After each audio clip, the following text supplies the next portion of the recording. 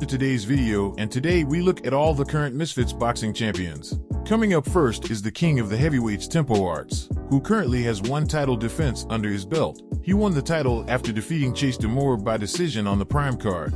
He recently successfully defended his title against Ben Knight by stopping him in the fourth round on the Misfits 14 card. The next champion is the light heavyweight champion, which is currently held by the pretty boy Anthony Taylor.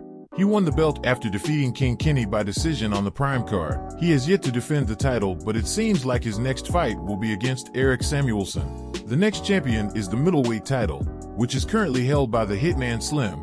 Slim won the title after knocking out Salt Papi in an epic fight on the Prime card. He has yet to defend the title, but will hopefully see him by the end of this year.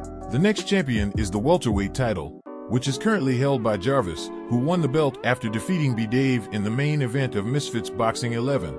The last title in the men's division is the lightweight title. The belt is currently held by Deen the Great. He won the belt after knocking out Waleed Sharks in their epic fight on Misfits Boxing 3. Since then, Deen has been perfect and has had two title defenses, which makes him the person with the most title defenses so far in Misfits. He defeated Pulley Arif and Waleed Sharks again to retain his championship. Now he awaits the winner of the lightweight tournament. Up next are the women champions of Misfits Boxing. The first women title is the women's cruiserweight title. The current champion is Jully Poca.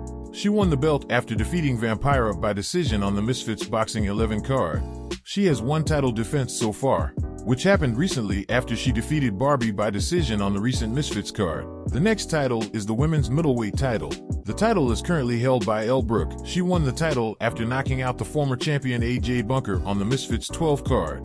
She has yet to defend the title, but she has a huge fight against Paige VanZant coming up next week. The last women's title is the lightweight title, which is currently held by Nikki Hru. She won the title after defeating Alexa Grace on the Misfits 13 card.